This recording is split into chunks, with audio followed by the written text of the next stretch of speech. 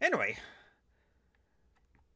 Uh, so now I'll have to talk about like uh porn games and something like that because it like it, it was kind of like tangentially brought up in like uh, arts and humanities so too. Hey, there we go, porn, arts and humanities. Even though the Democratic Party platform does not have a section on porn games, but they are have a section on like DC, Puerto Rico territories. I wonder if like Hawaii gets a vote to be independent of the United States of America because again they were pretty much invaded as well too. But let's get continue. Uh, President Biden and Vice President Harris and the Democrats have made historical investments in Washington D.C., Puerto Rico, U.S. Virgin Islands, Guam, and the Commonwealth of the Northern Mariana Islands, and America Samoa, delivering millions of for infrastructure, semiconductors, clean energy, and transportation projects, and creating thousands of good jobs. Yeah, they want bases in those places. That's why those places exist same thing with uh, Hawaii. Hawaii was would have been like easily a territorial commonwealth as well too. Oh, but not a state as well too. That's just I'll remember what like led it to become a state as well too. Oh, and but like that's why we had a base on Hawaii because like we wanted as a naval base.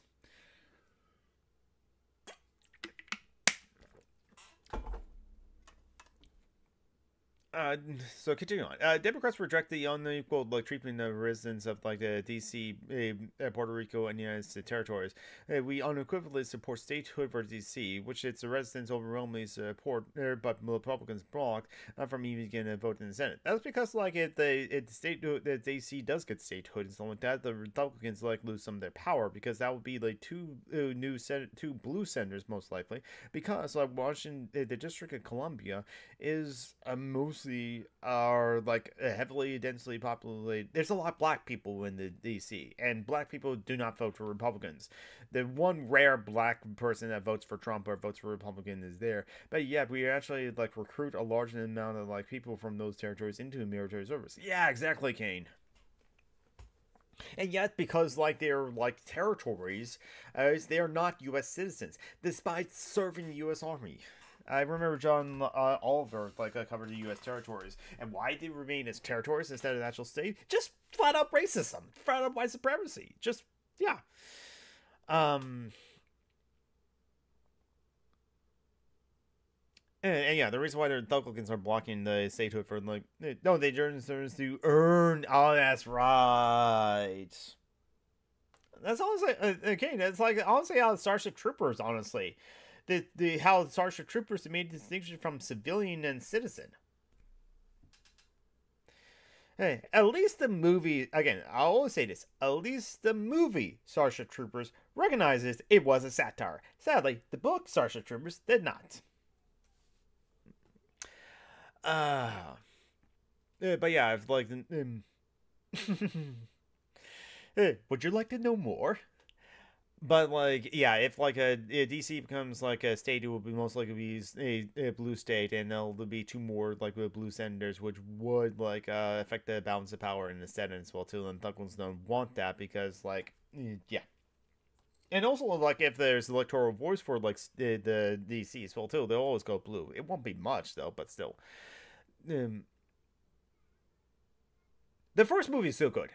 The first, um, there's a lot of blood and violence in that one. Some nudity and sex as well too. Oh, and, but yet how that movie was advertised, it earns an R rating. So be mindful of that if that's a problem for you. I mentioned there's probably a lot of like stuff that flew over it. Oh, probably honestly. Um, but. Uh, but how that movie Starship Troopers was advertised, it basically was advertised as like uh, as marketed as the the next Star Wars. So there were my dad knew coworkers that like brought their kids to like start to watch Starship Troopers. And like my dad's coworker had have a problem with all the violence in like uh, in Starship Troopers, including like someone being like chopped in half essentially. Um, but but my flag more states than oh my god, that's right, Gates. I'm like arguing that like it will ruin the flag of the United States of America. They like the United States of America flag as it is right now. It was never always the same. They always added more stars whenever they do. There was like brief period in like the 1959 where like Alaska was a state, but Hawaii has not. Alaska became a state in like uh, January 1959. Alaska, uh, Hawaii did not become a state until like August of that year. Come on, people those people just don't want change, honestly. But yeah. Um Yeah, so my oldest brother was working at the movie theater when he was in high school when that movie came out, and had to had to resist talking to parents who were dragging their crying five year old out of the movie theater for Starship Troopers, a R rated movie. And again, my dad's coworker, his, are you watching the trailer for like the yeah, I remember that trailer you seen the Blur's number two. Yeah, they did. I mean, admittedly, it was a bit foggy now because it was so long ago as a, it was still child. Yeah, exactly. But no, yeah, my fa- my father's coworker did not have a problem with all the violence that his children were saw from that movie. He was just like did not expect the mixed shower sheen. Again, no problem with all the violence in the movie that was earned its R rating. I mean, um, it, the decapitation and all the gore and stuff like that. But the nudity was a problem. And also sex. Yeah, exactly. Hey, but no, like my oldest brother had to resist telling like a mother who was dragging their five-year-old crying son, a uh, crying child at the movie. See, this is why I know the way you do movies. You always act like this. That five-year-old kid just saw someone getting cut in half. Meanwhile, in Canada, mm-hmm, uh, but speaking, yeah, but not speaking of Canada, speaking of like um, uh, United States and their and their territories and Commonwealth, uh, Democrats recognize that the people of Puerto Rico have like earned and deserve to resolve the political status questions. For this reason, Democrats support the enactment of the Puerto Rico Status Act, uh, HR 2757, and promote full civil and political representation for Puerto, Ricans. Uh, we will work to end its unequal treatment by the federal government and fight to provide equal access to federal programs like Medicaid, SNAP, and like CTC.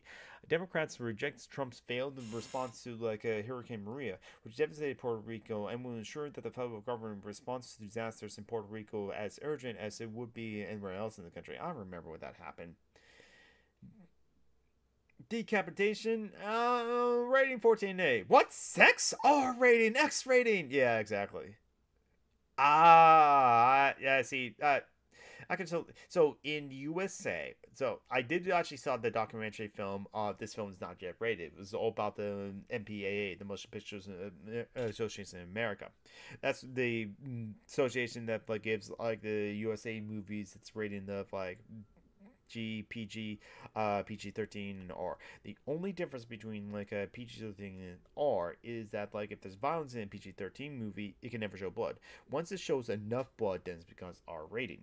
As well as like decapitation, like slicing off limbs and like um, gore or something like that. But it's kind of like it's how much blood is shown and they can only show some amount of blood, but very little blood in a PG-13 movie. But if they show like eh, they show enough blood, or just like show a lot of blood, they will show uh, uh, that the blood becomes R.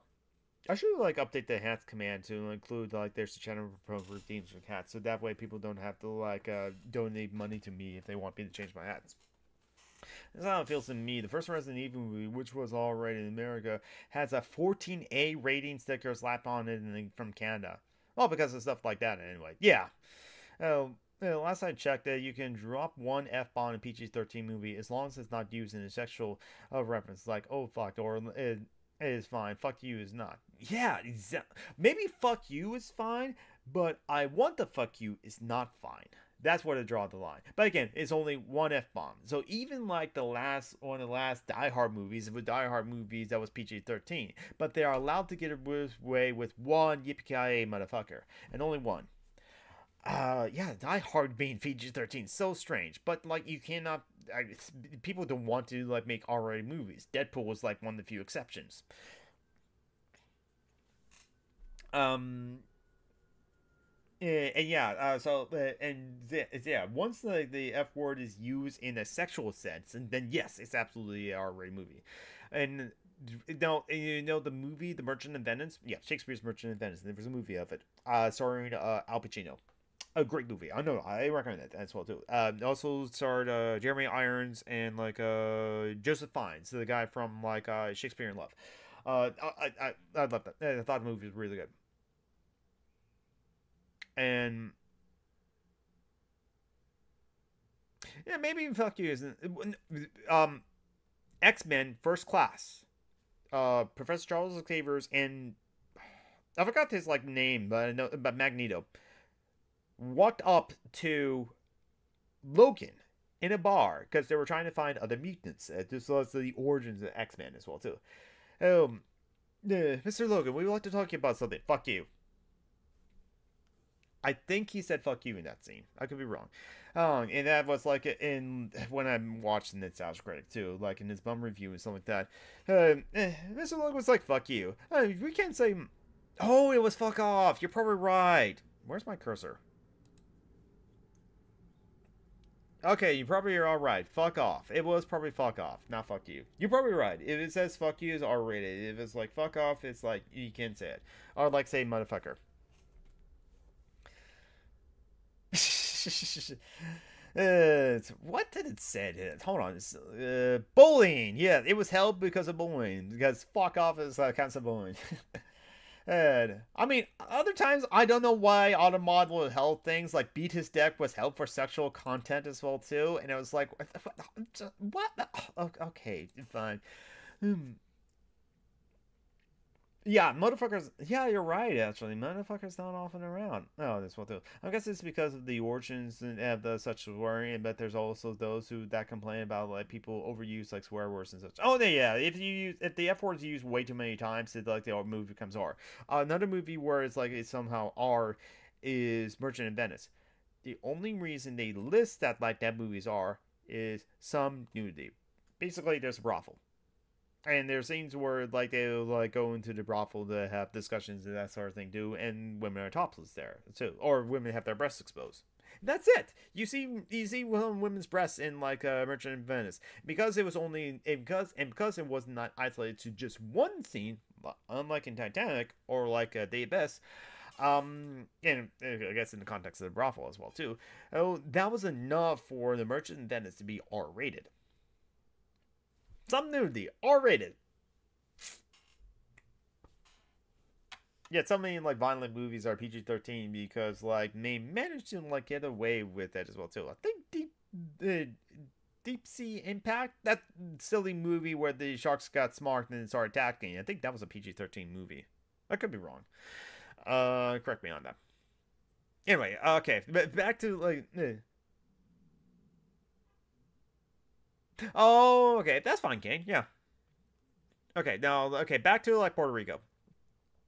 Uh, let's see. Back to this document on, like, the uh, Democratic uh, Party, like, uh, platform. Let's see if I can actually finish, finish, like, chapter 6, honestly. Um, uh, yeah, the Trump's failed response to the Hurricane Maria, which devastated Puerto Rico, and will ensure that the federal government's response to disaster in Puerto Rico is as urgent as it would be in anywhere else in the country. Um, when disaster uh, does stri- strike, uh, we will speed access to recovery to help rebuild, and we will um, build on the administration's investment to invest in further ed- energy infrastructure, economic development, education, healthcare, housing, energy, and climate resilience. We will help re- re- uh, re, re, restructure. I'm about to say reconstruct, but it's just like my brain knows like no, reconstruct is not the right word and stuff like that. And I I did struggle struggle to remember that it's re, uh, re, restructure restructure. We will help restructure like Puerto Rico's debt to relieve its debt burden, and we will work to dissolve the federal oversight and management board. Just forgive the fucking debt. Who does Puerto Rico own a debt to? No, seriously, who's Puerto Rico in debt to? Who, who does the like USA own a debt to? Are we like trillion dollars in debt? Who do we own the debt to? Jupiter? The Decepticons? Also I meant like uh, uh, people complaining about the overuse of zones and the downloading like uh, swear words and the like, and I'm like, don't care, we'll swear as much as I like. Yeah, exactly. The Boogeyman, yeah.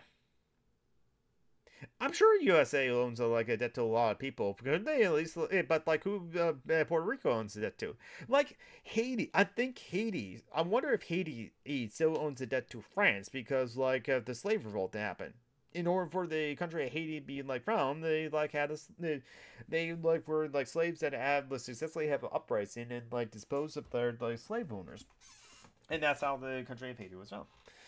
Um, hey, having a great time visiting like the Alexander Graham Bell. Uh, he started like the Canadian Association for the Deaf, as his like wife lost his uh, hearing at the age of five. Oh, and that's interesting.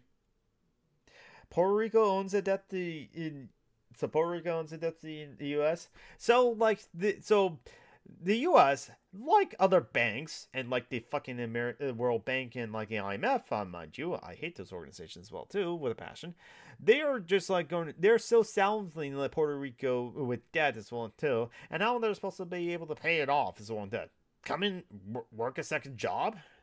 Why don't eh, so they were working to relieve the debt and like the structure of the debt and restructure the debt and relieve the debt burden and stuff like that? How about you just fucking forgive it? Also, I know that the one country that I always like hear Americans yell about owning debt to is China. Yeah, exactly. All that that's reef. I don't know. I'm poorly informed in, and on like Puerto Rico. I mean, can we just forgive it? I figure you did mention Alexander Graham Bell uh, Museum um, remember and say yeah, because Alexander, I know Alexander Graham Bell, he's the guy who invented the telephone, or it's like, eh, and and the fact that like his uh, wife is deaf also doesn't matter me. Oh, of course, the fear that like, China is going like a storm in and take over because uh, apparently that means China owns uh, the USA, America. I guess. I mean, I do have my issues with China, absolutely, because like it's like um kind of don't they technically don't have elections unless there's elections that happen internally in the Communist Party of China, and it's like I except eh, China calls himself a communist country, eh, and I just like eh, have my quibbles with that too. Oh, and, oh, there. There's also like a bunch of like labor practices and labor rights is like abysmal uh, in like China as well too. So let's remember that. So I guess like I don't want China to control the USA either honestly. And like I said back to the previous conversation, I want the land back. I want the like the the to return to like the land that the USA is currently on to the indigenous people that uh, that were kind of in the way in the way that like they've been lived here for generations and generations long before white people got here. That they kind of like have more rights in the land as well. China the, China is developing their own their infrastructure material otherwise at a rapid rate. They're manufacturing most of the stuff in the world. I fear China has like I I, the theory of China has merit. Yeah, I no no I agree. Yep, his family started up in like a sort of National Geographic. Oh, I see. Yeah, about a question it, it, at like China storming in uh, running everything immediately because of some random ass like debt uh, because I don't think that's how it works. I mean, oh, that'll be interesting if like uh, basically America is controlled by China in some way, or like in order for us to do anything like that, and we have to get approval from the Chinese Communist Party. Huh. That'll a weird future that I can imagine as well too. But anyway, um, but the, for sure, like the USA, it's a fear of like the Chinese. Uh, basically, the American hegemony or American supremacy around the world, and that becomes China's supremacy and Chinese um hegemony around the world. That's what China is doing, definitely for sure. Um, the thing with this is we pay off our debts, which means we give China trillions of dollars a year, which in turns they use to make themselves more powerful. Blah blah. I yeah, I see what you mean. Yeah, I can understand why like the USA's resistance to doing that as well too. But anyway, um, Port, the USA should forget the debt to Puerto Rico as well too. Honestly, if you ask me, um, but no, at like the beginning of the Death of First Last Thousand Years, that's what David Graeber and like uh, other activists that they, he was working with at the time uh, like advocate for for all those like um uh, other uh, countries in like the global south, uh, like Africa, South America, and other places, something like that. They were for like forgive the debt program, just forgive the debt as well too. So that's why I say to lie for the USA to Puerto Rico, just for forgive, forgive Puerto Rico's debt. Don't like restructure it, just forgive it. Continue on. Democrats also support the self-determination of the U.S. Virgin Islands, Guam, and Commonwealth and Northern uh, Maria Islands, and American Samoa. We will create a congressional task force to like to study equal voting rights and like uh, House of Representatives, and we'll like work to ensure equal access to federal programs like uh, Veterans Benefits, the Affordable Care Act, Medicaid, SNAP, uh, SNAP food assistance, and all those uh, for all those eligible. It's kind of like the Democrats saying, "Oh wait, we own and control those places." Oh yeah, China absolutely still imperialist, absolutely. Yeah, I'm not saying that like Chinese imperialism is preferable to American imperialism because I think all imperialism is bad. As the U.S. territory of Puerto Rico never never should have like been in debt uh, to us in the first place, as though are uh, as they are our responsibility in ensuring their like prosperity. Agree, Kane. Absolutely. It's and uh, I've been reacting to like this statement of how like Democrats want to ensure that like uh, Guam, uh, the Northern uh, Mariana Islands, American Samoa, and the U.S. Virgin Islands and all these uh, territories and stuff like that get access to all those things as well too. It's kind of like, oh wait, we're responsible for you people. Um, uh, uh, here you go. Here's the stuff that we're don't really give to like the people here or something like that. But here's the access to the same kind of access that those people have. It's terrible, it's shitty, something like that, but it's better than nothing. Um, yeah. Uh, continue on. Uh, Democrats support funding to like improve uh, critical health facilities in the territories, including uh, con- uh construction of a state of the art uh, medical complex in Guam that uh, co-locates health industries on a single campus for more a more integrated healthcare system with, that will benefit the region. We will also invest in like ending disparities in agriculture, economic development, educational development, energy, healthcare, housing, and infrastructure, and help the U.S. territories diversify their economies. We will help them recover from natural disaster, and we will invest in expanding clean energy and water system to be more resilient. Um, if you're also doing that like here too, then yes, do that over there as well too. Just improve them as well too, since like it's yeah, like Kane said with Puerto Rico, since like it, Port, those places are our responsibility because we own them as well too. We should like provide for them whatever we can. And it's up to us to like make sure they're prosperous. And that's because it, the Democrats want those places to be prosperous. Uh, the U.S. is a two-party state, one party more than and and what this the what the worst government is. I mean, I don't know how much I want to say what is the worst government period well too. Um, I still have my issues with the two party like system here in the United States of America. It's honestly, in my mind, it's a duopoly as well too. There are differences as well too, or distinctions between two parties as well too. Oh, um, because like the there's like the conservative capitalist party of the Democrats, and then the fascists. So there is an important distinction there as well too. But it's just like when it comes to like uniform policy and like immigration policy or economic policies, it's kind of like the Democrats are better, only slightly better. But it's also about like how they talk about those things. The Democrats are more presidential as well. It's basically what it is. Um, and Democrats are still too terrible offer things like uh, similar to like uh, Trump will do too, but like uh, Democrats will do it. Well, de- Democrats will do it uh presidentially, and won't be embarrassment to like the rest of the countries. Uh, continue on. Uh, Democrats support reimbursing like U.S. territories a, a for more migration costs uh, including restoring Medicaid uh, eligibility for legal migrants under the uh, Compact of Free Associations. Uh, Democrats will continue to recognize the like uh, sacrifices and honor the contribute and the contributions of the of the residents who suffer because of their U.S. nationality during like the Japanese occupation during World War II. That's why we were. That's why those places are territories of us well too, because we have naval bases there and so that we can attack Japan or like whoever else that we want to. Vietnam, Korea. Uh, sorry, you were associated with us, so like these people don't like us, and so you were had like occupied by these people because of your association with us. Sorry about that. Uh, continue on. Uh, Democrats also recognize that like uh, uh, millions of U.S. citizens live abroad and will. Well, yes, because those those those because like Guam, the Virgin Islands, uh, the Northern Mariana Islands, and American Samoa are part of the USA. They are U.S. citizens too, are they not? Um, so separating the U.S. citizens basically born in the contiguous United States as well too, and you happen to live there. That's okay. So I see, yeah. So they are not citizens if they're part of the U.S. territories. Yep, I figured that was the case. Continue on. We will consider their like unique circumstances and challenges when shaping policy. We will work to protect their like voting rights and ensure they're able to participate in the democratic process here at home. Yeah. There you go. A delineation of classes in that way. And look at that. If they become states, they would become citizens and have the same rights as we do. So yeah, it basically is like so yeah, the, so the people who live on Guam, the U, uh, U.S. Virgin Islands, and Nor- uh, the U, the Northern Mariana Islands, and the American Samoa are basically second-class citizens. Then, not that I'm surprised about that, or I didn't know that as well too. Yeah.